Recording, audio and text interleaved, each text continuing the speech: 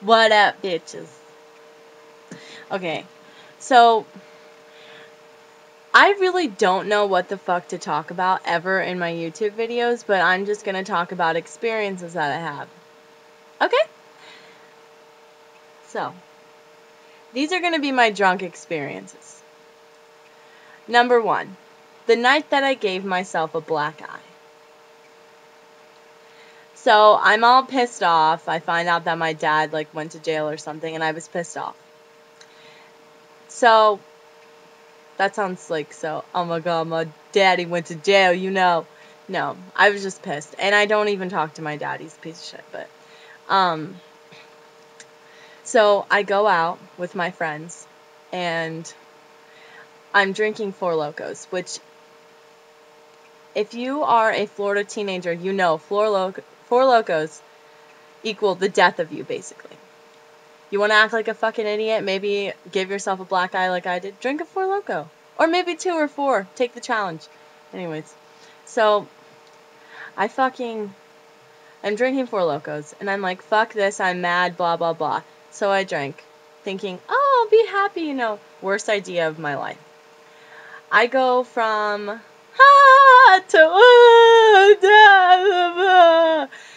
I was falling on the floor.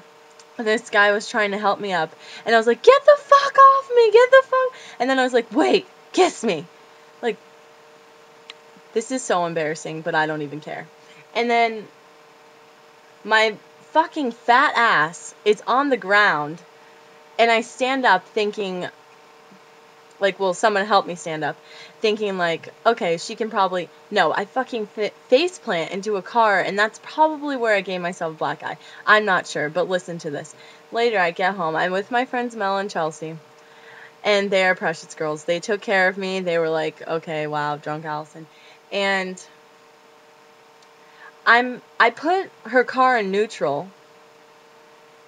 Yes, it was my bright idea to stop the car. They wouldn't let me go see this boy, which, oh my god, seriously, this is why I'm never drinking again. Even though I drank a lot of times after. I go to see this boy, or want, sorry, I wanted to see this boy, and I put her fucking car in neutral, and then I was cussing them out, and I'm like, you're a stupid blonde bitch, and blah, blah, blah like being such a fucking train wreck, okay? It gets worse. I get home and I throw up all over myself and my carpet, and then my mother has to give her 18 year old daughter a bath. I don't want to drink anymore. Because that stuff has happened a few times. I mean, that was my worst experience. But then again, we have this crazy motherfucker that I used to hang out with that's like 30 years old and he, you know, he just buys beer and whatever for everyone and we kind of just went to his house because he has one, whatever. I'm sure if you live in Pinellas County, you know who I'm talking about. Fucking crazy. I'm not going to put anyone on blast, but he's fucking crazy, okay? Here's a crazy example. He gets fucking drunk, lights a blanket on fire while I'm trying to get it in. I wasn't really trying to get it in. I was just, but I wanted to make out. We all know I'm not a slut, I just like to make out. So, anyways, I'm trying to make out with someone. Obviously, in front of people because I was drunk. But he fucking lights a blanket on fire and he's like, ah! like acting fucking crazy. And then after that, after his episode, he's walking around with a lit blanket, a fire fiery blanket. And I throw a pot of water on that motherfucker. Like, what are you doing?